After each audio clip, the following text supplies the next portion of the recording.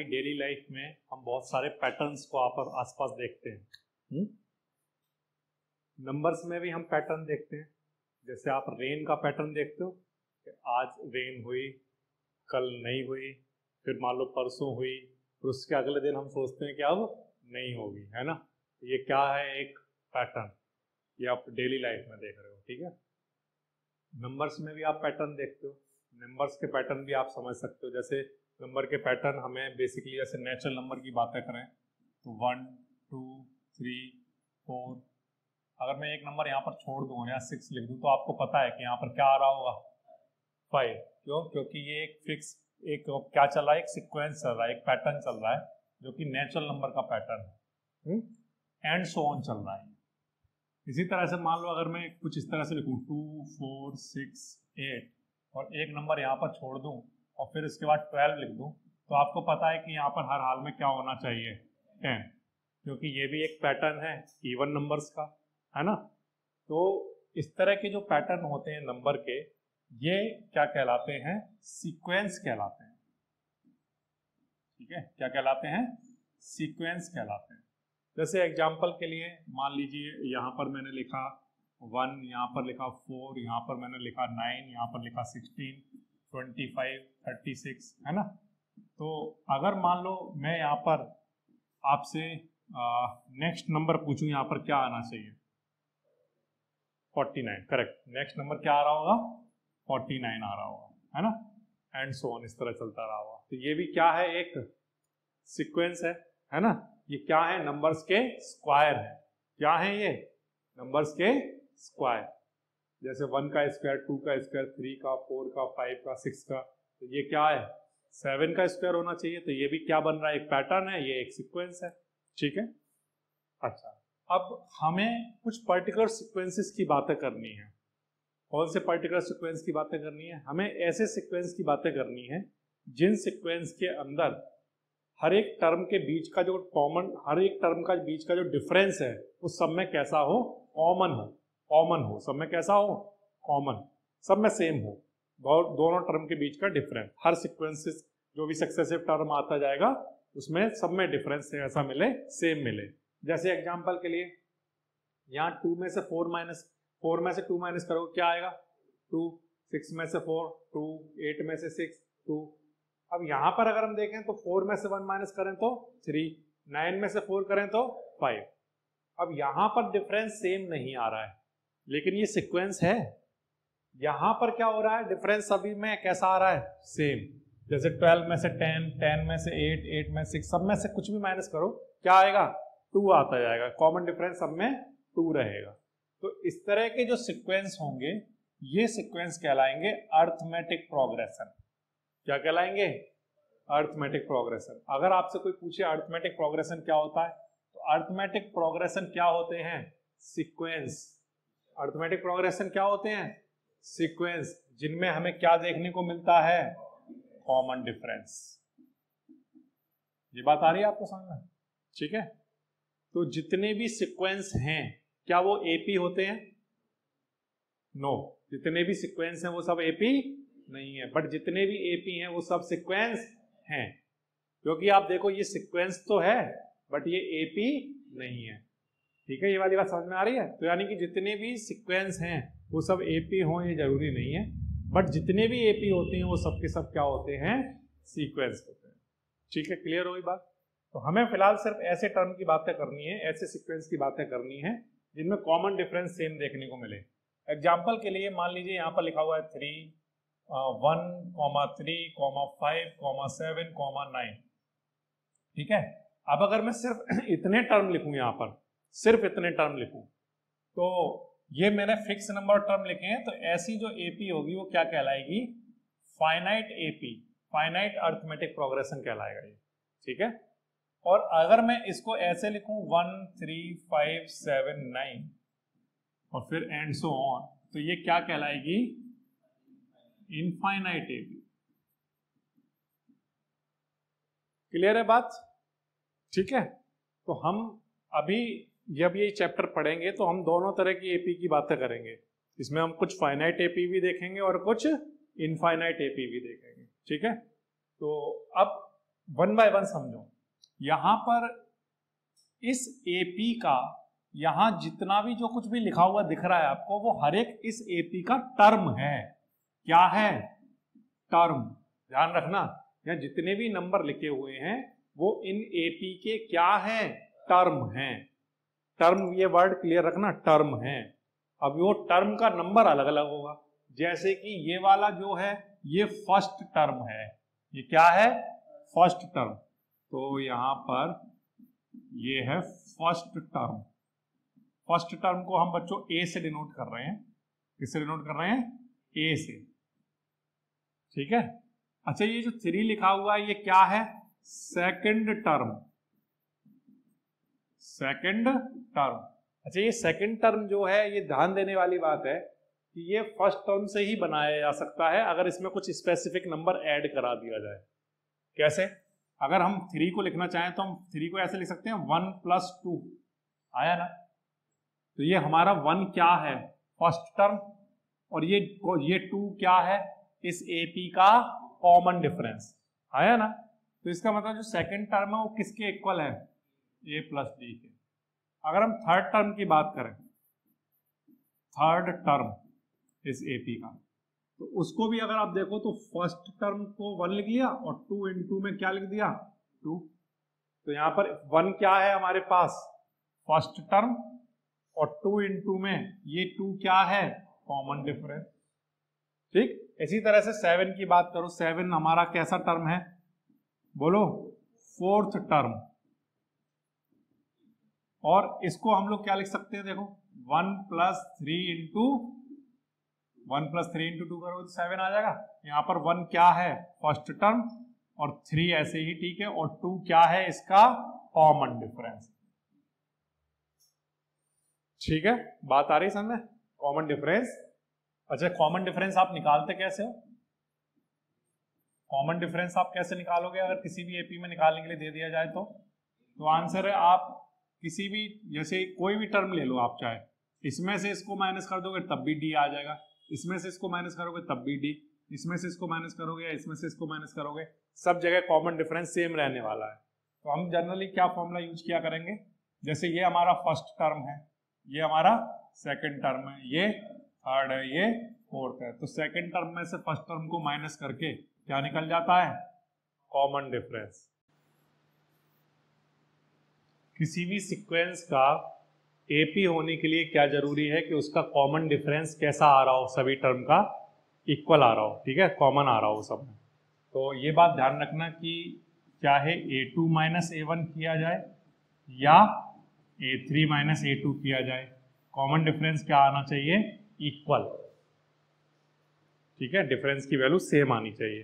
तभी वो एपी होगी। तो अगर आपको कभी कोई ऐसा क्वेश्चन आ जाए कि चेक करके बताओ कि वो ए पी है या नहीं है गिवन सिक्वेंस तो आप क्या चेक करोगे? A two minus A one equal to क्या आना चाहिए? A three minus A two ठीक है? ये कुछ बेसिक सी टर्मिनोलॉजी है। अब अगर आप इन टर्म को ध्यान से देखो, जैसे मान लो, ये हमारा फ़र्स्ट टर्म है ए ये हमारा सेकंड टर्म है, ये थर्ड है, ये फोर्थ है। तो अब अगर इसी तरह से अगर आप ध्यान से देखो तो हमारा ये जो टू है, इस टू के लिए यहाँ पर डी के आगे क्या लिखा हुआ है? यहाँ जो थ्री है, इस थ्री के लिए यहाँ पर क्या लिखा हुआ है? इससे एक कम। यहाँ जो फोर लिखा हुआ है, इससे यहाँ पर एक कम। है ना? एक कम लिखा हुआ है। तो अगर मैं इसी तरह से यहाँ पर पूछूँ, अगर यहाँ ए टेन लिखा जाता तो यहाँ पर क्या लिखा हुआ होता बोलो? ए प्लस नाइनटी अब अगर मैं इसी तरह से ये पूछूँ कि अगर यहाँ पर ए एन लिखा होता तो यहाँ पर क्या आता? एन माइनस वन इंटू तो जितना यहाँ होगा उससे एक कम। आया ना? तो ये रानी की किसी भी एपी का जो एंथ टर्म होगा, वो क्या होगा? A plus N minus one into D ये कहलाता है nth term of an AP या इसको जनरल टर्म भी कहते हैं। जनरल टर्म ऑफ़ एपी क्या हुआ करता है? A plus N minus one into D ठीक है? तो ये कुछ टर्मोलॉजी है बेसिकली जो आपको याद होनी चाहिए। फिर से ध्यान दो। समराइज कर रहा हूँ। कोई भी एपी इस फॉर्म में होती है। A A plus D A plus two D A plus three D and so on और लास्ट टर्म क्या होता है? A plus N minus one into D ठीक है? इस तरह से हुआ करता है। अच्छा इसमें से फ़र्स्ट टर्म क्या होता है बोलो? फ़र्स्ट टर्म क्या होता है? कॉमन डिफरेंस कॉमन डिफरेंस क्या होता है? डी किसके इक्वल होता है? A two minus A one और एंथ टर्म या general term nth term of an AP क्या हुआ करता है? A plus N minus one into D और to prove given sequence AP to given to prove given sequence AP क्या करना होगा? अगर हाँ A two minus A one किसके इक्वल प्रूफ करना होता है? A three minus A two के। ठीक है? ये बात क्लियर है? और इसके अलावा एक चीज़ और है इस चैप्टर के अंदर, वो है सम सम निकालना। सम ऑफ़ एन एपी ठीक है? अगर जैसे ये सीक्वेंस लिखा हुआ है, इसी में बीच में प्लस का साइन लगा दूँ मैं ऐसे। प्लस का साइन लगा दूँ। तो ये सीक्वेंस ना होकर ये क्या बन जाएगा अब? सीरीज़ क्या कहलाएगा? सीरीज़ कहलाने लगेगा। ठीक है? सीरीज़ कहलाएगा ये। सीरीज़ है ये सीक्वेंस में अगर हम कॉमा की जगह प्लस लगा दें तो क्या बन जाती है वो? सीरीज़ कहलाता है। और इस सीरीज़ का सम निकालने का फॉर्मूला ये हुआ करता है। सम ऑफ़ एन टर्म का फॉर्मूला होता है N by two two A plus N minus one into D ठीक है? या N by two A plus L या मैं कहूँ एल की जगह एन टर्म ठीक है? और इसके अलावा एक फॉर्मूला और है जो आपको सभी बच्चों को याद रखना चाहिए, उस पर बेस्ड भी एक क्वेश्चन आता है। Nth term of an AP का फॉर्मूला तो ये है। और अगर मान लो आपको निकालना हो लास्ट टर्म या एंथ टर्म फ्रॉम एंड मुझे ये लिखना चाहिए। क्या चीज़? एंथ टर्म कहाँ से? फ्रॉम एंड वो इक्वल हुआ करता है last term minus N minus one into D के। ये वाला टर्म भी ध्यान रखना। कई बार आपके पास ऐसा हो जाता है कि आपको बोल दिया जाता है कि इस एपी का लास्ट से ट्वेल्व टर्म निकालो एंड से ट्वेल्व टर्म निकालो, ठीक है? उसका फॉर्मूला क्या होता है? L minus N minus one into D ये है वो पूरा इस चैप्टर के अंदर जो बच्चों को पता होना चाहिए। फिर उसके बाद आप सारे क्वेश्चन एग्ज़ाम्पल सब कर सकते हो। ठीक है ना? नंबर 98 पर आपको देखने को मिल जाएगा एग्ज़ाम्पल नंबर वन इसमें एक एपी गिवन है three by two one by two minus one by two minus three by two and so on वो कह रहा है write the first term and the common difference first term लिखना है और क्या लिखना है? कॉमन डिफरेंस लिखना है। ठीक है? कैसे लिखोगे देखो। फ़र्स्ट टर्म क्या है? जो पहला नंबर होता है, वही हमारा फ़र्स्ट टर्म होता है। और हमें कॉमन डिफरेंस लिखना है। कॉमन डिफरेंस का फॉर्मूला क्या हुआ करता है? A two minus A one तो सेकेंड टर्म में से फ़र्स्ट टर्म माइनस करा दो। वन बाय टू में से माइनस कर दो। थ्री बाय टू कितना आएगा? माइनस टू बाय टू या माइनस का वन तो बहुत आसान है ना? ये फ़र्स्ट टर्म होता है और इसमें से इसे माइनस कर दो कॉमन डिफरेंस आ जाएगा। ज़रूरी नहीं है इसमें से इसे माइनस करो, इसमें से इसे माइनस करते तब भी आंसर क्या आता? माइनस वन ही आता। ठीक है?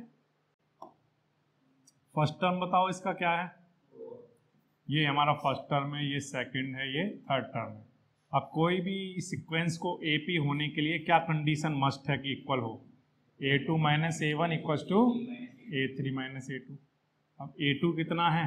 Ten A one four A three sixteen A two ten अब इसको सॉल्व करो। सिक्स यहाँ पर। तो ये क्या बन गया एक? क्योंकि इक्वल आ रहा है तो इसलिए हम कह देंगे ये एक ए पी और अगर ये ए पी है तो वो कह रहा है उसके नेक्स्ट टू टर्म बताओ।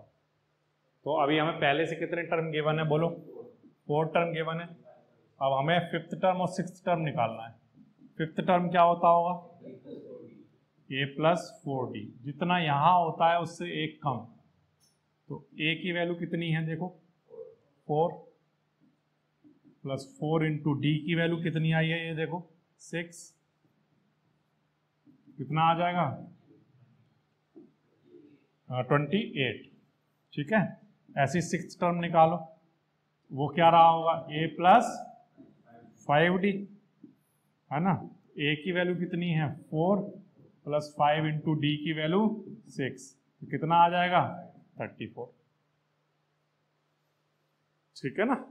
इस तरह से निकाल सकते तो जब पहले अगर एपी प्रूफ करना है एपी है तो पहले ये कंडीशन सेटिस्फाइड कराओ। अगर ये सेटिस्फाइड हो जाए तो फिफ्थ और सिक्स टर्म निकालना तो आसान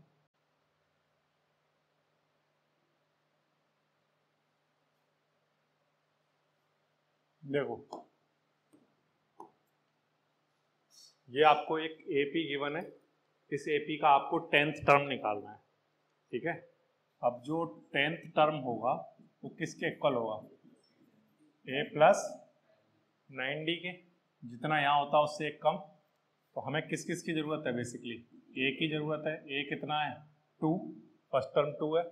और किसकी ज़रूरत है? कॉमन डिफरेंस वो फ़र्स्ट सेकेंड टर्म में से फ़र्स्ट को माइनस कर लो। तो कॉमन डिफरेंस भी आ गया। अब हमारे पास ए है और डी है। कितना आंसर आ जाएगा? फोर्टी सेवन तो बहुत आसान है। कुछ भी नहीं है। कर पाओगे? तो ए पता है डी पता है।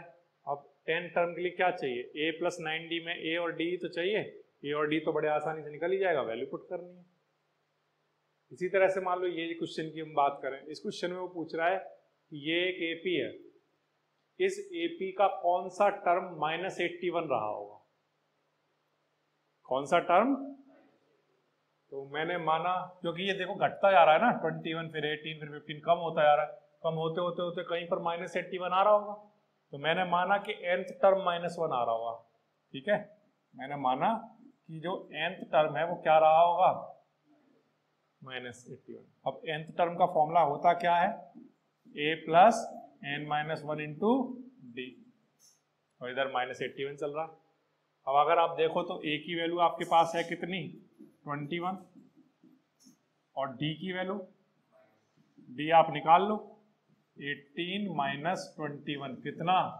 माइनस थ्री डी की वैल्यू माइनस थ्री पुट कर लो। ठीक है? ट्वेंटी वन ऐसी ठीक है माइनस थ्री का मल्टीप्लाई एन में कराओगे माइनस थ्री एन आएगा। माइनस थ्री का इसमें कराओगे तो क्या आएगा? प्लस का थ्री। और माइनस का एट्टी वन। अब ये दोनों प्लस करोगे तो कितना हो गया? Twenty four. और ये एट्टी वन इधर आएगा तो प्लस का। और थ्री एन इधर जाएगा तो ये भी प्लस का हो जाएगा। इनको ऐड करा लो। कितना बन जाएगा? One hundred five. और इधर थ्री एन चल रहा है। थ्री से डिवाइड करा दो थ्री थ्री जा नाइन और थ्री फाइव जा फिफ्टीन। एन की वैल्यू कितनी आ जाएगी? Thirty five. यानी कि इस एपी का थर्टी फिफ्थ नंबर पर जो टर्म आ रहा होगा, वो कितना रहा होगा? माइनस एट्टी क्योंकि हमने ये माना था ना nth term minus eighty one रहा होगा तो अब एन की वैल्यू आ गई। एन की वैल्यू आई थर्टी फाइव यानी कि इस एपी का thirty fifth term minus eighty one होगा। ठीक है? वो पूछ रहा है क्या इस एपी में कहीं पर भी कोई टर्म ज़ीरो आता होगा? अगर ऐसे नंबर घटाते जा रहे हो आप तो क्या इस एपी में कहीं पर ज़ीरो लिखा होगा? तो हमें तो नहीं पता कि ज़ीरो लिखा होगा या नहीं, लेकिन हम ऐसा मान लेते हैं कि मान लो एंथ टर्म क्या रहा होगा? ज़ीरो। अब एंथ टर्म ज़ीरो ले लो आप। जो भी टर्म आपको नहीं पता है ना, कौन से नंबर पर आ रहा है, उसे एंथ टर्म मान लिया करो। ठीक है? अगर एंथ टर्म ज़ीरो है एन टर्म हम जानते हैं क्या होता है? A plus n minus one into d equal to zero a की वैल्यू कितनी है? ट्वेंटी वन एन पता नहीं। डी की वैल्यू माइनस थ्री डी की वैल्यू माइनस थ्री, ठीक? अब ट्वेंटी वन ऐसे ठीक है। Minus three minus three n हो जाएगा और plus three equals to zero. Three n इधर लेकर आ जाओ। और थ्री और ट्वेंटी वन मिलकर कितना? Twenty four. थ्री से डिवाइड करा दो, कितना आ जाएगा? एट। तो यानी कि इसी एपी का जो एट्थ टर्म रहा होगा, वो क्या रहा होगा? ज़ीरो। कोई भी टर्म पता करना हो कि क्या ये वाला टर्म इस एपी में आ रहा होगा तो मान लो कि वो एंथ नंबर पर आ रहा होगा। फिर एन की वैल्यू पता कर लो, वही टर्म नंबर पर रहा होगा वो टर्म ठीक है? ए प्लस हाँ एट टर्म हमारा आ रहा है ना तो हाँ ए एट हमारा क्या रहा होगा? ज़ीरो रहा होगा। ठीक है? और यहाँ पर ए थर्टी फाइव हमारा ज़ीरो रहा होगा। क्योंकि एन थर्टी फाइव आया है तो ए एन माना ना तो यहाँ एन की जगह क्या लिखोगे? थर्टी फाइव ही तो लिखोगे? तो ए थर्टी फाइव हो गया माइनस एट्टी वन इस वाले क्वेश्चन में देखो एग्ज़ाम्पल नंबर फाइव में आपको दो टर्म उसने बता दिए। वो कह रहा है थर्ड टर्म है आपका फाइव किसी एपी का थर्ड टर्म फाइव है। और और कौन सा टर्म गिवन है? थर्ड टर्म फाइव है और सेवेंथ टर्म नाइन है। यहाँ लिख लेता हूँ सेवेंथ टर्म कितना है? नाइन है। तो बताओ क्या रही होगी वो एपी किसी एपी का थर्ड टर्म क्या होता होगा? ए प्लस टू डी और सेवन टर्म क्या होता होगा बोलो? ए प्लस सिक्स डी ठीक है? तो बताओ वो ए पी क्या रही होगी? तो इसके लिए हम क्या करेंगे? हमें पता है a plus two d five है a plus six d nine है। इन दोनों को आपस में सॉल्व करके ए और डी की वैल्यू निकाल लेते हैं। ठीक है? तो यहाँ आ जाएगा माइनस माइनस माइनस ये क्या हो जाएगा? कैंसिल सिक्स में से टू माइनस करेंगे फोर डी नाइन में से फाइव फोर डी की वैल्यू वन ये जो डी की वैल्यू आई है, इसको उठाकर यहाँ पर पुट कर दो. A plus six into one equals to nine six उधर जाकर माइनस करा दो. किसकी वैल्यू आ गई? अब आपके पास बच्चों ए की वैल्यू आ गई है डी की वैल्यू आ गई है. अब आप बड़े आसानी से अपनी ए पी फॉर्म कर सकते हो.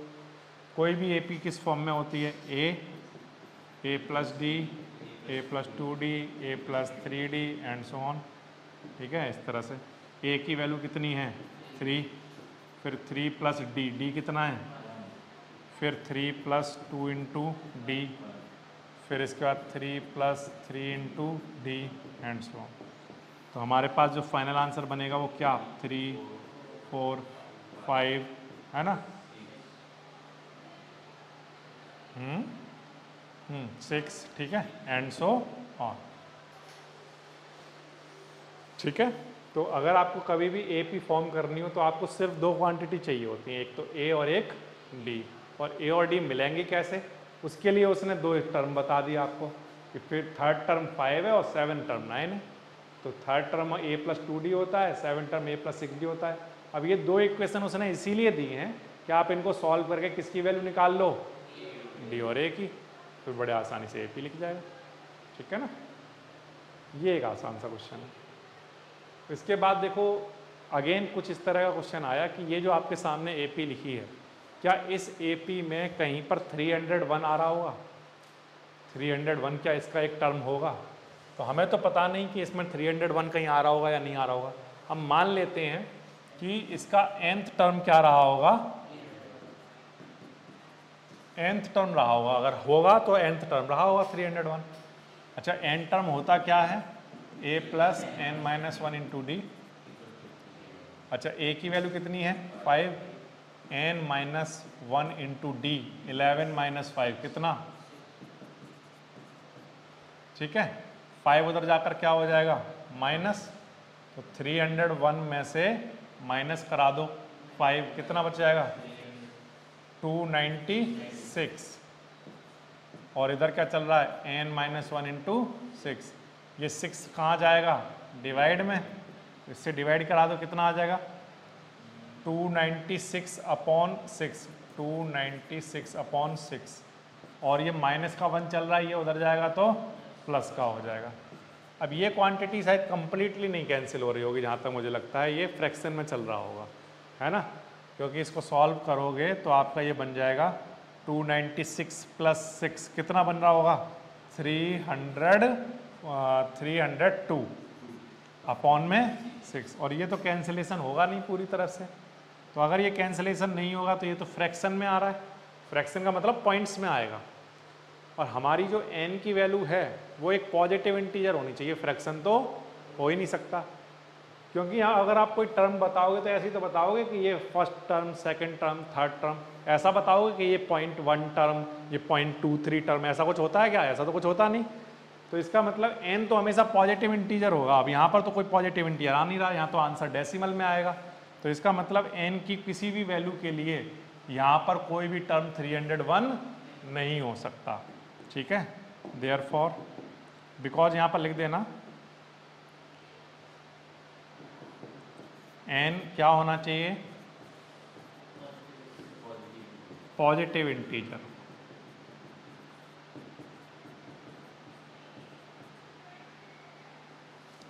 therefore three hundred one as not a term of this given AP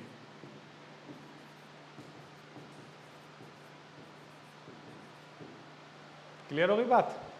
अगर एन की वैल्यू मान लो ऐसी आ जाती, जैसे एग्ज़ाम्पल के लिए 35 तब उस बात का मतलब ये होता कि इस AP का थर्टी फिफ्थ टर्म 301 है।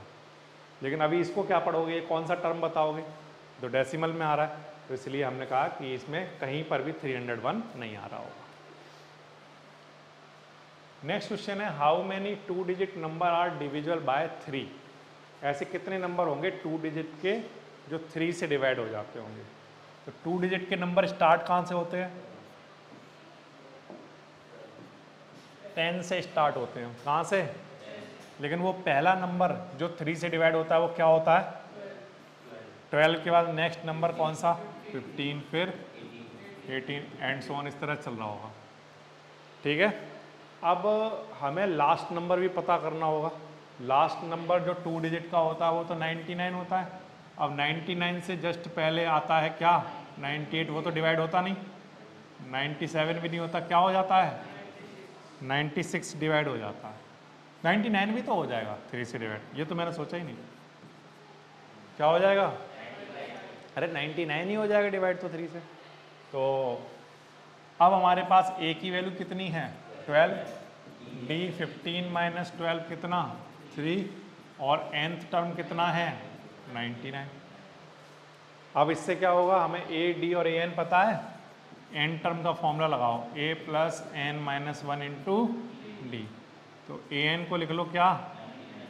और ए ट्वेल्व और n minus one into d कितना? थ्री ट्वेल्व इधर लाकर माइनस करा दो। तो ये कितना बच जाएगा? एट्टी सेवन और इधर चल रहा है n minus one into three three कहाँ आ जाएगा? डिवाइड में। ट्वेंटी नाइन और ये वन इधर लाकर प्लस कर लो। तो एन की वैल्यू आ गई। यानी कि थर्टी ऐसे नंबर होंगे टू डिजिट के जो किससे डिवाइड हो जाते हैं? थ्री से डिवाइड हो जाते हैं। देखो, ये आपके सामने एक एपी गिवन है। इस एपी का आपको इलेवेंथ टर्म निकालना है। बट स्टार्टिंग से नहीं एंड से निकालना है। हाँ। तो आपको अगर इलेवेंथ टर्म फ्रॉम एंड निकालना है तो उसका फॉर्मूला क्या होता है? L minus n minus one into d l last term क्या है? माइनस एन कौन सा टर्म निकालना है? इलेवन और डी की वैल्यू कितनी है? सेवन माइनस टेन कराओ। कितना आएगा? माइनस का थ्री ठीक है? माइनस सिक्सटी टू और ये माइनस और ये माइनस प्लस हो जाएगा। Eleven minus one, ten ten into three thirty. ये आ जाएगा, ठीक है? अब हमारे पास कितना बच जाएगा? माइनस का थर्टी टू। ये आपका आंसर बच जाएगा। तो लास्ट टर्म फ्रॉम एंड क्या होना चाहिए? माइनस का 32 ये फॉर्मूला आपको याद रखना है। इना, क्या बोला है? In a flower bed there are 23 rose plant in first row 21 in second row 19 in third row, and so on. There are five rows plant in last row. How many rows are there in the flower bed? ठीक है? How many रो रो बतानी है कितनी? पहली रो में कितने हैं? फिर सेकंड रो में ट्वेंटी वन ऐसे ही नाइनटीन और लास्ट वाली रो में? वो पूछ रहा है, यहाँ से बताओ कितनी रो हैं ऐसी? मतलब एन की वैल्यू बतानी नंबर ऑफ़ टर्म बताने बेसिकली कितने हैं। आपके पास ए है और डी भी है। ट्वेंटी वन में से ट्वेंटी थ्री माइनस कर दो, ठीक है? माइनस टू और लास्ट टर्म भी है आपके पास कितना? फाइव अब आप एन टर्म का फॉर्मूला लगा दो। A plus n minus one into d a की वैल्यू ट्वेंटी थ्री एन पता नहीं डी की value minus two. N term यानी लास्ट टर्म कितना है? फाइव अब ये ट्वेंटी थ्री इधर लाकर माइनस करा दो।